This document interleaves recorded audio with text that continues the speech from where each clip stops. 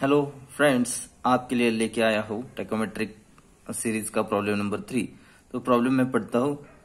A tacheometer fitted with anallatic lens was set up at station A and the following readings were obtained on vertically held staff instrument station observation table में दिया है और instrument station ए है और staff station दो है benchmark and B vertical angle दिए गए हैं plus eight degree minus four degree at B staff readings additional the constants f upon i is hundred that is multiplying constant is hundred find distance A B A B distance find करना है.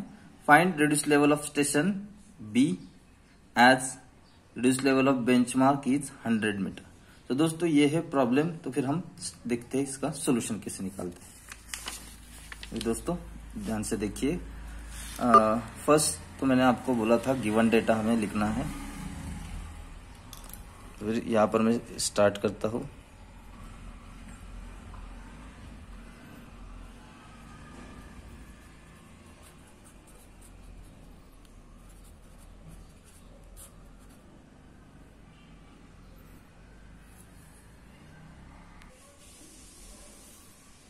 दोस्तों solution तो अभी मैंने start कर दिया। Solution मैं यहाँ पर लिखता हूँ अभी।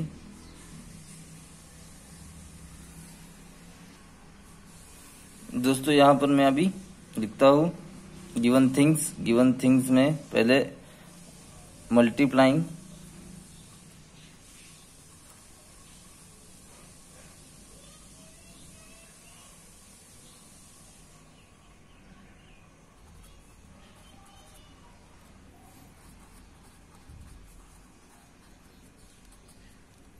is equal to upon i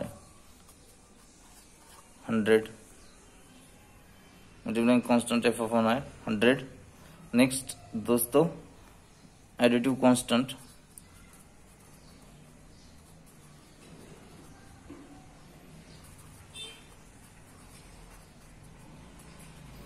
या प्लस डी या फिर ये प्लस सी भी यूज़ किया जाता है as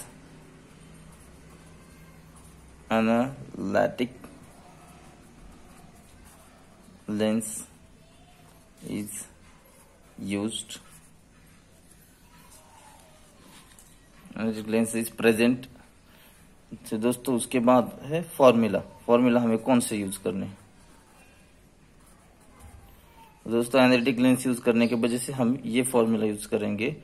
F upon i into s into cos square theta और वर्टिकल डिस्टेंस के लिए यूज़ करेंगे f upon i into s into sin two theta divided by two दोस्तों, ये दो फॉर्मूले यूज़ करने हैं। अभी नेक्स्ट स्टेप है हमारा ड्राइंग स्केच दोस्तों, फिर से मैं एक बार प्रॉब्लम के गिवन डेटा की तरफ़ गिवन डेटा हमें देखना है। गिवन डेटा तीन पॉइंट्स दिखाने instrument station staff station benchmark and B और उस पे बेंचमार्क पे एंगल है प्लस एट्टी डिग्री तो बेंचमार्क ए पॉइंट के ऊपर है because angle is plus angle plus है इसलिए ये ऊपर आएगा। और पॉइंट बी ए के नीचे ए पॉइंट के नीचे आएगा, क्योंकि इसका एंगल माइनस फोर डिग्री है। माइनस यहाँ पर इंडिकेट करता है लाइन ऑफ़ साइड के। Point angle of elevation is angle of depression angle of depression और प्लस साइन इंडिकेट करता है angle of elevation this angle of depression this angle of elevation line यानी line of sight के ऊपर, और line of minus का मतलब है लाइन ऑफ़ साइड के नीचे। दोस्तों, ये इसका मतलब है तो फिर देखते हैं हम इसका स्केच कैसे बनाते हैं, ये डाटा यूज़ करके। ये दोस्तों, ये डेटा मैंने यहाँ पर रख दिया स्केच बनाते वक्त।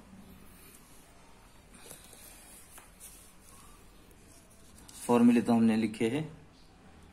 Okay okay? Upon i, s into d is equal to d यानी horizontal distance f upon i, s into cos square theta. Horizontal distance A B find करने के लिए ये फॉर्मूला यूज़ करेंगे। और वर्टिकल डिस्टेंस फाइंड करने के लिए f upon i into s into sin two theta divided by two ये फॉर्मूला हम वर्टिकल डिस्टेंस फाइंड करने के लिए यूज़ करेंगे। दोस्तों, अभी नेक्स्ट स्टेप स्केच बनाना है स्केच बनाना स्टार्ट करते हैं हम। दोस्तों, यहाँ पर मैंने एक पॉइंट पे, ए पॉइंट सेंटर में रखा। और यहाँ से मैं ग्राउंड दिखाना स्टार्ट करता हूँ। ये हो गई हमारे ग्राउंड इस पॉइंट को नाम देता हूँ ए पॉइंट ये ए पॉइंट हो गया। ए पॉइंट पे अभी अभी लाइन ऑफ़ साइट दिखाना है।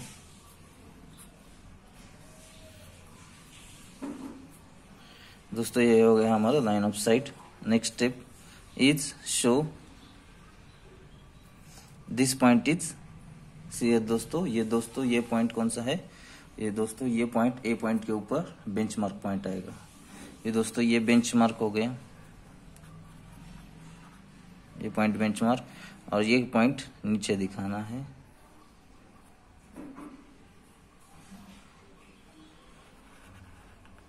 दोस्तों, इसका नाम है पॉइंट बी दोस्तों, इसका नाम दिया मैंने अभी पॉइंट बी दोस्तों, फिर उसके बाद हमें दिखाने स्टाफ रीडिंग्स तो स्टाफ रीडिंग्स दिखाने के लिए मैं यहाँ से लाइन ड्रॉ कर रहा हूँ अभी। स्टाफ रीडिंग्स आप स्ट्रेट लाइन भी ड्रॉ कर सकते हो। डॉटेड लाइन दिखाना ज़रूरी नहीं है। ऐसा कुछ नहीं डॉटेड लाइन ही दिखाना है।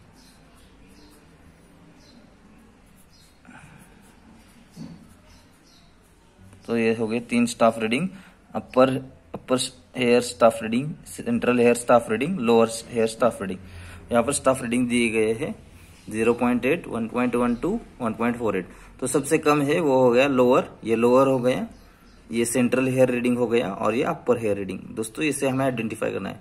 सबसे कम है वो लोअर हेयर फिर सबसे कम है वो लिखता हूँ मैं यहाँ पर ज़ीरो पॉइंट एट कुछ कहीं भी भी लिखो आप, ऐसे कोई नहीं है ज़ीरो पॉइंट एट नेक्स्ट है one point one two one point one two और नेक्स्ट है वन पॉइंट फोर एट दोस्तों upper hair reading minus lower hair reading हमें स्टाफ इंटरसेप्ट पता चलता है।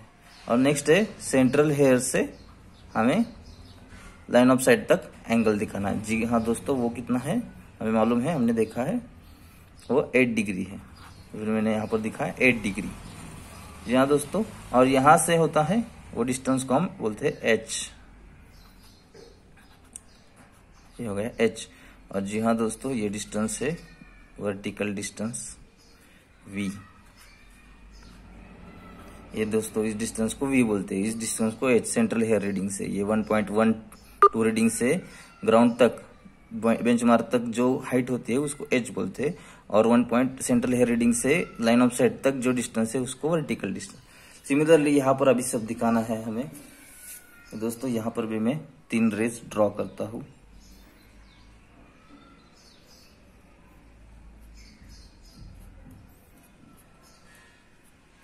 दोस्तों, ये प्रॉब्लम सॉल्व करना इतना डिफ़िकल्ट नहीं है। कुछ बच्चे प्रॉब्लम्स हो तो ऑप्शनल रख देते हैं, लेकिन दोस्तों प्रॉब्लम सॉल्व करना बहुत ही इसेंशियल है। अगर प्रॉब्लम नहीं सॉल्व कर सकते तो हम इंजीनियर किससे बन पाएँगे? इसलिए प्रॉब्लम तो हमें सॉल्व करना आना चाहिए।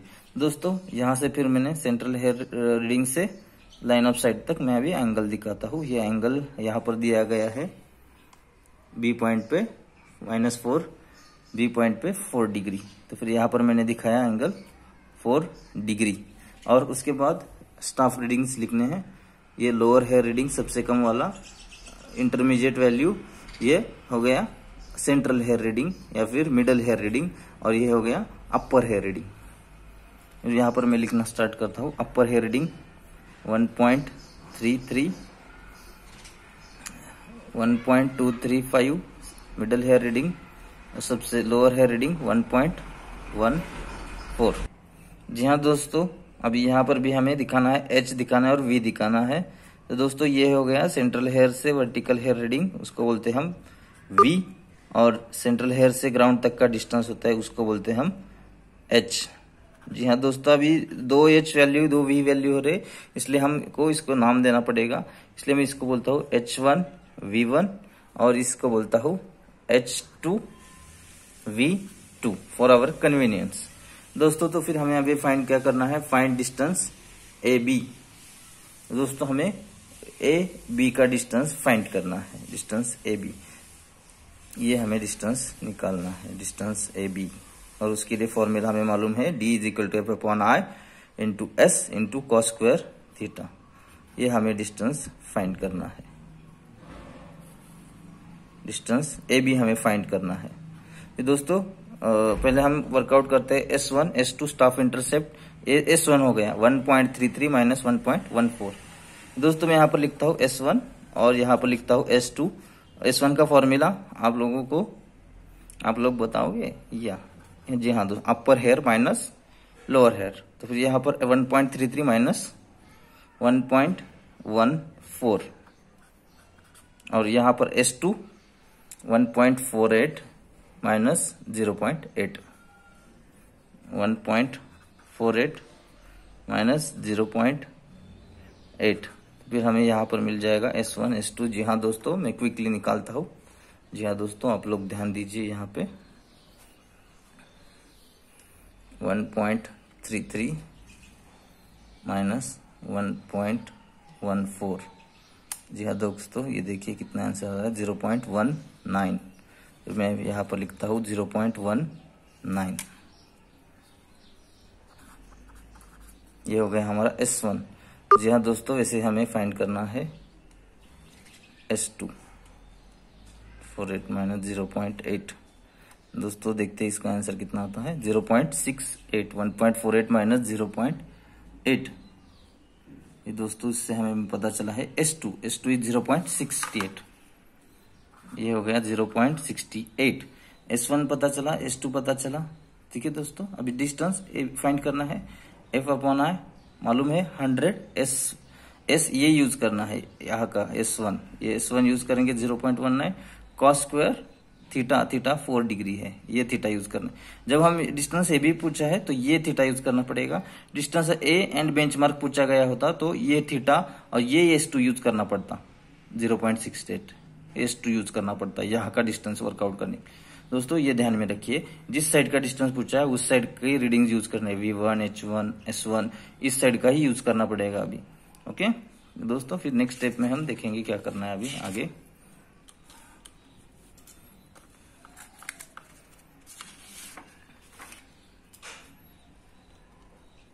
दोस्तों, यहाँ पर देखिए अभी next step D distance A B is equal to A B is equal to F upon I into फिर से मैं फॉर्मूला लिखता हूँ S one into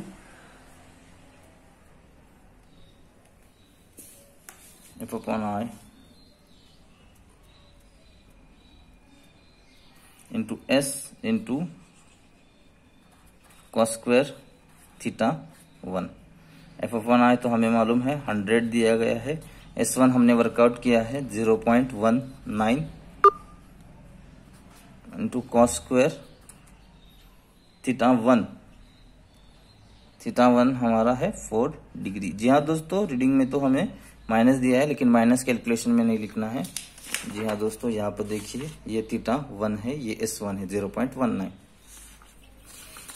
zero point one nine four degree तो दोस्तों, ये यूज़ करके मैं अभी कैलकुलेशन आपके सामने करता हूँ। फिर hundred into zero point one nine into cos eight sorry cos angle है फोर फोर डिग्री के लिए। दोस्तों, ये देखिए, ये ये की हमें यूज़ करना है। डिग्री के लिए मैं ये प्रेस करता हूँ ब्रैकेट कंप्लीट और स्क्वायर दोस्तों इक्वल टू प्रेस करने के बाद रीडिंग मिला है हमें 18.907 तो फिर यहाँ पर डिस्टेंस ए भी हमें मिल गया है 18.907 मीटर। जी हाँ दोस्तों, ये मैंने three up up to decimal three decimal places work out किया है फॉर एक्यूरेसी पर्पज तो हमारा फ़र्स्ट फ़र्स्ट टारगेट तो अचीव हो गया डिस्टेंस से भी फाइंड किया। अभी नेक्स्ट है reduce level of station B उसके लिए हमें गिवन डेटा है bench mark is hundred metre दोस्तों, देख, ये स्केच की तरफ़ हम फिर से जाते हैं। बेंच मार्क का रिड्यूस लेवल मालूम है। बेंच मार्क का रिड्यूस लेवल हंड्रेड दिया गया है। Reduce level is equal to hundred metre तो दोस्तों reduce level of bench mark plus H two तो यहाँ पर पहुँच जाएँगे। माइनस वी टू करेंगे तो यहाँ पहुँच जाएँगे। तो हमें reduce level of line of sight इसको बोलते हैं। Reduce level of line of sight या फिर reduce level of instrument axis पता चल जाएगा। ये इंस्ट्रूमेंट एक्सिस भी है। तो ये इंस्ट्रूमेंट एक्सिस का हमें हमें इंस्ट्रूमेंट एक्सिस का रिड्यूस लेवल पता चल जाएगा। उससे minus V one minus H one करेंगे तो हम बी पॉइंट के रिड्यूस लेवल तक पहुँच जाएँगे दोस्तों स्टेप बाय स्टेप करना पड़ेगा। पहले हमें इसके लिए वी टू वर्कआउट करना पड़ेगा और वी वन वर्कआउट करना पड़ेगा। एच वन तो मालूम है one point two three five H one is one point two three five and H two is one point one two H two is one point one two दोस्तों, देखते हैं कैसे कैसे जाना है। यहाँ पर मैं लिखता हूँ फिर से to find this level of B. We need what we need V1, V2, H1, H2 और जी हाँ दोस्तों क्या? Reduce level of instrument shortcut में लिखता हूँ instrument axis reduce level of instrument axis ये दोस्तों पहले reduce level of instrument axis ही पता करते हैं। पहले V1 और V2 पता करना पड़ेगा। वी वन फॉर्मूला है F upon I into S one into sine two sine two और थीटा वन यहाँ पर लिखूँगा मैं डिवाइडेड बाय टू दोस्तों, यहाँ पर मैं वैल्यू पुट करता हूँ। हंड्रेड एस वन तो हमें मालूम है यहाँ पर ज़ीरो पॉइंट एस वन हमें मालूम है zero point one nine zero point one nine theta भी हमें मालूम है, थीटा वन फोर डिग्री तो मैं directly four degree into two eight degree आएगा। साइन टू थीटा, यानी हो गया eight degree. Two into four तो हो गया eight degree divided by two. दोस्तों देखते हैं वी वन कितना आता है। ये हो गया eight degree.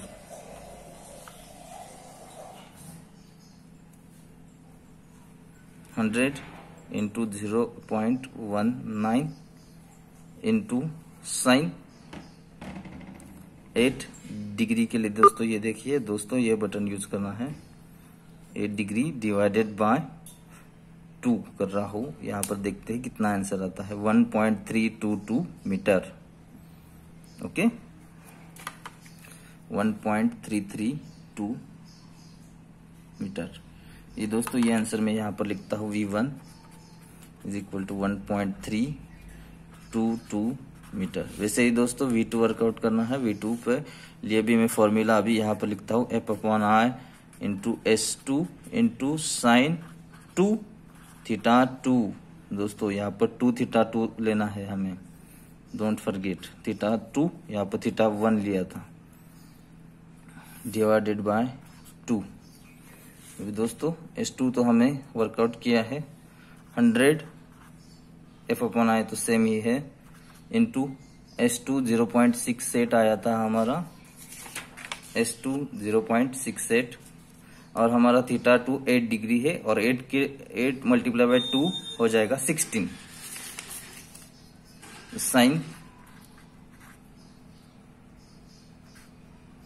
sixteen degree divided by two दोस्तों, इसका कैलकुलेशन कितना आता है, अब हम यहाँ पर देखते हैं।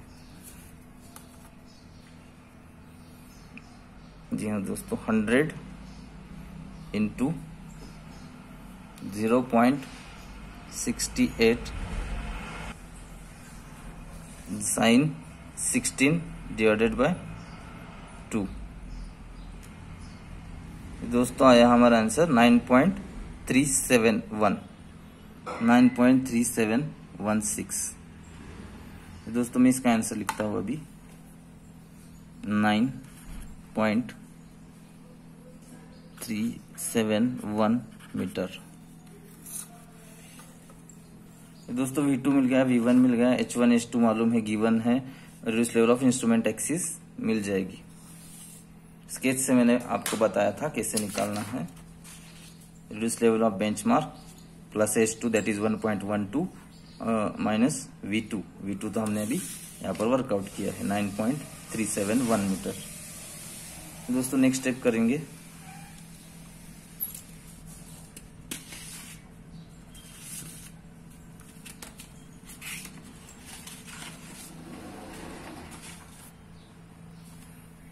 जी हाँ दोस्तों, उसके आगे का स्टेप करेंगे हम। आगे हम। Reduced level of instrument. Axis is equal to reduced level of benchmark plus H2 minus V2 जी हाँ दोस्तों ऐसा कोई फॉर्मूला नहीं है। जी हाँ दोस्तों स्केच से हमें ये पता चलता है क्या करना है। रिड्यूस लेवल ऑफ़ बेंचमार्क यहाँ पर, फिर उसमें एच टू मिला के वी टू माइनस करके हम यहाँ तक पहुँच सकते हैं। एक कॉमन सेंस है दोस्तों। इसका कोई स्टैंडर्ड फॉर्मूला नहीं। स्केच से हमें पता चलता है। इसलिए स्केच वेरी इंपॉर्टेंट है। स्केच गलत होती है तो फिर दोस्तों हमारा पूरा प्रॉब्लम गलत हो सकता है। इसलिए दोस्तों स्केच ठीक तरह से बनाइए। और जी हाँ दोस्तों, ये स्केच बनाते वक्त ये पॉइंट हमें केयर करनी है।